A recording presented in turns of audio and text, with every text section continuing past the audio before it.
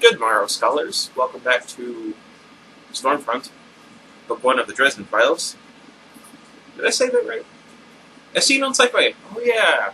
Well, I mentioned that yesterday, yesterday, the other day. I'm going to look up the show. I'm going to watch it. I think I would like it. Also, now that I've started reading this, I'm thinking about dressing up as the the cover art for Halloween. If you guys have any suggestions, I still have my Luke Skywalker costume from Episode Seven. Um, I still have that mechanic jumpsuit. I have half a mind to dress up as uh, Michael Myers. Uh, if you have any other ideas, what would be good for Halloween, uh, please let me know. Uh, I've vowed to make this the best Halloween of my life, even if I have to kill a hobo. Um,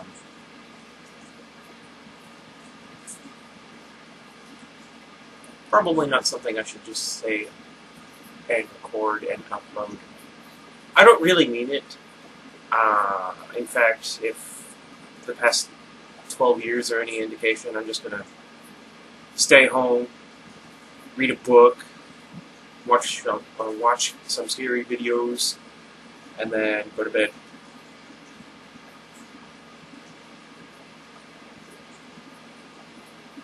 Anyway, we are in chapter 3, page 31. Missed it by that much. Well, actually, is that much, but you know what I meant. Gentleman Journey, uh, Journey. I can't speak. Johnny Marcone didn't look like the sort of man who would have my legs broken or my jaw wired shut. Ah, that sounds painful. I can feel it. Ah, it bothers me more than the tentacles from the last book. His salt and pepper hair was cut short, and there were lines from sun and smiling etched into the corners of his eyes. His eyes were the green of well-worn dollar bills. Huh. It really paints a picture. He seemed more like a college football coach, good-looking, tan, athletic, and enthusiastic. The impression was reinforced by the men he kept with him. Cujo Hendricks hulked like an all-pro player who had been ousted for extreme, un- unnecessary roughness. Sorry. Cujo got in the car again, glowered at me in the rearview mirror, then pulled out into the street, driving slowly toward my office. The steering wheel looked tiny and delicate in his huge hands. That's why I get small cars, because it's hilarious to look at. It looked almost like, uh, wait, wait, wait, oh, sorry, I missed a couple of things. I made a mental note. Do not let Cujo put his hands around your throat, or hand. It looked oh, almost like one of them could manage it.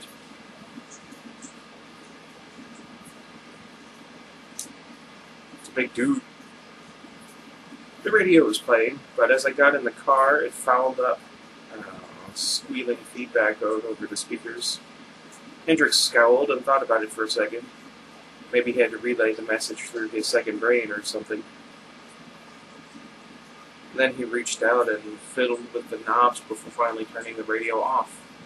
At this rate, I hoped the car would make it all the way to my office. Let's see, I don't remember the voice I used for it.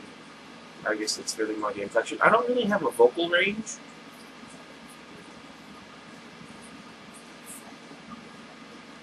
Mr. Dresden, Marcone said, smiling, I understand that you work for the police department from time to time. They throw the occasional tidbit my way, I agreed. Hey, Hendricks, you should really wear your seatbelt. Statistics say you're 50 or 60% safer. Cujo growled at me in the rearview mirror again, and I beamed at him. Smiling always seemed to annoy people more than actually insulting them. Or maybe I just have an annoying smile. I agree with that first sentiment, not but never mind. Marcone seemed somewhat put off by my attitude. Maybe I was uh, supposed to be holding my, ha- my hand, but I never really liked Francis Ford Coppola. What? And I didn't have a godfather. Wait, what? I do have a godmother, and she is inevitably, perhaps, a fairy, but that's another story. Mr. Dresden, he said, How much would it cost to retain your services? That made me wary. What would someone like Marcone want me for? My standard fee is fifty dollars an hour plus travel expenses, I told him. But it can vary depending on what you need done. Marcone nodded along with my sentences as if encouraging me to speak. He incurred or what what I have no idea where I was. He wrinkled up his face as if carefully considering what he would say, and taking my well being into account with grandfather grandfatherly concern, how much would it uh, set me back to have you not investigate something? You want me to, uh, you want to pay me to not do something. Let's say I pay your standard fee. That comes out to fourteen hundred a day, right? Twelve hundred, uh, actually. I corrected him. He beamed at me. An honest man is a rare treasure. Twelve hundred a day. Let's say I pay you for two weeks' worth of work, Mr. Dresden, and you take some time off. Go catch a few movies, get some extra sleep, that sort of thing. I eyed him. And for more than a thousand dollars a day, you want me to do nothing, Mr. Dresden. Marcone smiled. Nothing at all. Just relax and put your feet up. And stay out of Detective Murphy's way. Aha! Marcone didn't want me looking into Tommy Tomm's murder. Interesting. I looked out the window and squinted my eyes, as though thinking about it. I've got the money with me, Marcone said. Cash on the spot. I'll trust you to fulfill your end of the deal, Mr. President. You come highly recommended for your honesty. I feel like that's not true. Hmm. I don't know, John. I'm kind of busy to be accepting any more accounts right now. What? The car door was almost. Uh, the car was almost to my office building. The car door, there we go, was still unlocked. I hadn't worn my seatbelt either, just in case I needed to throw the door open and jump out. See how I think ahead? It's that wiz- wizardly int- intellect. As I was going to say intelligence and paranoia. I would do the same thing though, but that's because I'm a weird person. Marcone's smile faltered. His expression became earnest. Mr. Dresden, I am quite eager to establish a positive working relationship with you. If it's the money, I can offer you more, let's say double your usual fee. He steepled his hands in front of him as he talked, half turning toward me. My goodness, I kept expecting him to tell me to uh, go out there and win one for the Gipper. I don't know what that means. He smiled. How does that sound? It isn't the money, John, I told him. I lazily locked my eyes onto his. I just don't think it's going to work out. To my surprise, he didn't look away. Those who deal in magic learn to see the world in a slightly different light than anyone else. You gain a perspective you never had considered before, a way of thinking that would just never have occurred to you um, without exposure to the things a wizard sees and hears. When you look into someone's eyes, you see them in that other light, and for just a second, they see you in the same way. Marcone and I looked at one another. He was a soldier, warrior, behind that relaxed smile and fatherly manner. He was going to get what he wanted, and he was going to get it in the most efficient way possible. He was a dedicated man, dedicated to his goals, dedicated to his people. He never let fear affect him. He made a living on human misery and suffering, peddling in drugs and flesh and stolen goods. But he took steps to minimize that suffering because it simply was the most efficient means of running his business. He was furious over Tommy Tomm's death, a cold and practical kind of fury that his rightful uh, dominion had been invaded and challenged. He intended to find those responsible and deal with them in his own way, and he didn't want the police interfering. He had killed before and would again, and it would mean nothing more to him than a business transaction, than paying for groceries in the checkout line. What? I feel like I missed something in there. It was a dry and cool place inside Gentleman Johnny Marcone, except for one dim corner. There, hidden away from his everyday thoughts, there lurked a secret shame. I couldn't quite see what it was, but I knew that, somewhere in the past, there was something that he would give anything to undo, would spill blood to erase. It was from that dark place that he drew his resolve, his strength. That's interesting. That was the way I saw him when I looked inside, past all his pretenses and defenses. And I was, on some instinctual level, certain that he had been aware of what I would see if I looked, that he had uh, deliberately met my gaze, knowing what he would give away. That was his purpose in getting me alone. He wanted to take a peek at my soul. He wanted to see what sort of man I was. When I look into someone's eyes, into their soul, their innermost being, they can see mine in return the things I had done, the things I was willing to do, the things I was capable of doing. Most people who did that got really pale, uh, at least. One woman had passed out entirely. I didn't know what they saw when they looked in there. It wasn't a place I poked around much myself. Johnny Marcone wasn't like other people who had seen my soul. He didn't even blink an eye. He just looked and assessed, and after the moment had passed, he nodded at me as though he understood something. I got the uncomfortable impression he had duped me, that he had found out more about me than I had about him. The first thing I felt was anger at being manipulated. Anger that, uh, or what? Anger, and then, yeah, okay.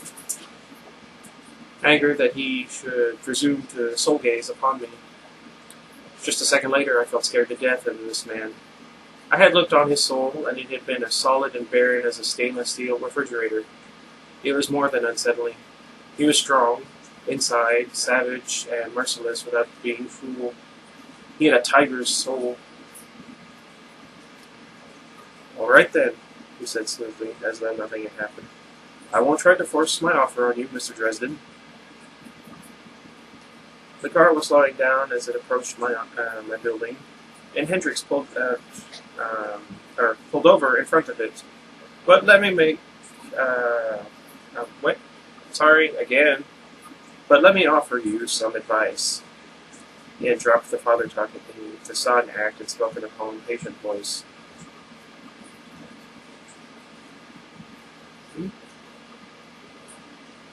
If you don't charge for it.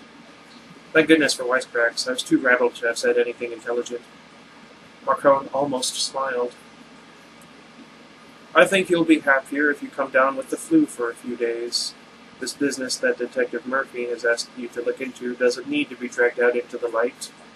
You won't like what you see. It's on my side of the fence. Just let me deal with it, and it won't ever trouble you. Are you threatening me? I asked him. I didn't think he was. I didn't want him to know that. It would have helped if my voice hadn't been shaking. No, he said frankly. I have too much respect for you to resort to something like that. They say that you're the real thing, Mr. Dresden. A real magus. They also say I'm as nutty as a fruitcake. I choose which they I listen to very carefully, Marcone said. Think about what I've said, Mr. Dresden. I do I do not think our respective lines of work need uh, overlap often. I would as soon not make an enemy of you over this matter. I clenched my jaw over my fear and spat words at him, quick and hard. You don't want to make an enemy of me, Marco. That wouldn't be smart. That wouldn't be smart at all. He narrowed his eyes at me, lazy and relaxed. He could meet my eyes by then without fear. We had taken measure of one another. It would not happen in such a way again. You really should try to be more polite, Mr. Dresden, he said. It's good for business. I didn't give him an answer to that. I didn't have one that wouldn't sound frightened or stupidly macho. Instead, I told him, if you ever lose your car keys, give me a call. Don't try offering me money or threats again. Thanks for the ride.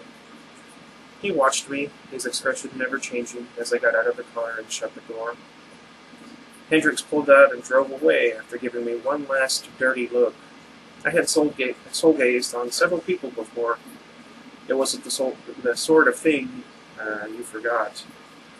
I had never run into someone like that, someone so cool and controlled.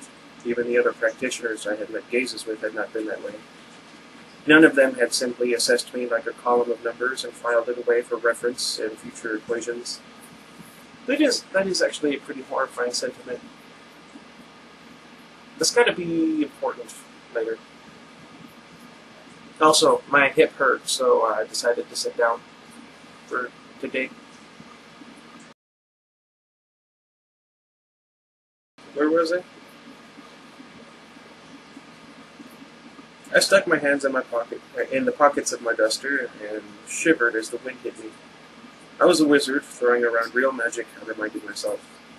I was not afraid of big men and big cars. I do not get rattled by corpses blasted from life by magic more intense than anything I could manage. Really. Honestly. But those dollar bill colored eyes, backed by that cool and nearly passionless soul, had me shaking as I took the stairs back up to my office. I had been stupid. He had surprised me, and the sudden intimacy of the soul gaze had startled and frightened me. All added together, it caused me to fall apart, throwing threats at him like a frightened school kid. Marcone was a predator. He practically smelled my fear.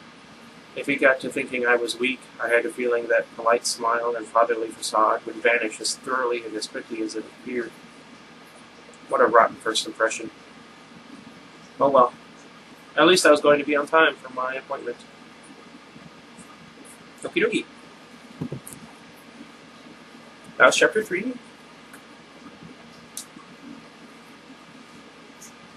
Would you have taken the money and then just kept telling Officer Murphy that, like you said before, you can't dig up anything on how one would go about this because you literally cannot without, you know, what he said in the last chapter to himself. No, it was the chapter before that. I, I almost feel like I would have taken the money.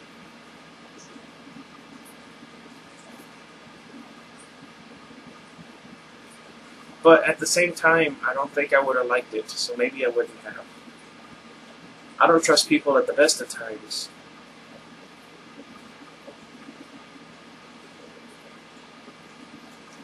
Hmm. That's a good question for the day. Would you have taken the money?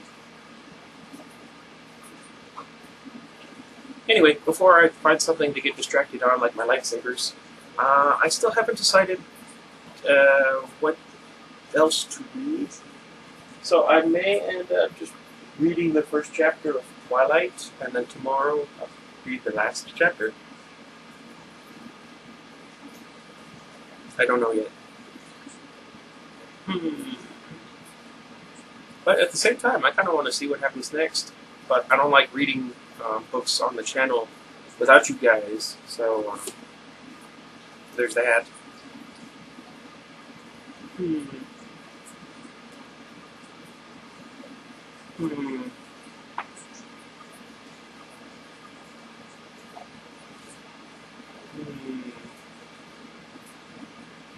Okay. I'm only going to have the one video up today, um, and here's why. Uh, I mentioned before, I think, uh, and I are working on our book finally. Like, we're actively typing up uh, things. And uh, I want to have at least, at least eight pages done today. Um, I have about three and a half or four. Um, done already for one chapter. Uh, I want to at least get to eight pages. And like I said, let me know if you have any ideas you would like to see um, us implement. If you have any characters that you think would be interesting, I'd love to take a look. If you have ideas for plot lines, that would also be helpful. Um, if I take anything, I will give credit where credit is due. And until next time, goodbye, everybody. Wish me luck because uh, this is like the first time I've like gone all out with the whole, whole writing thing.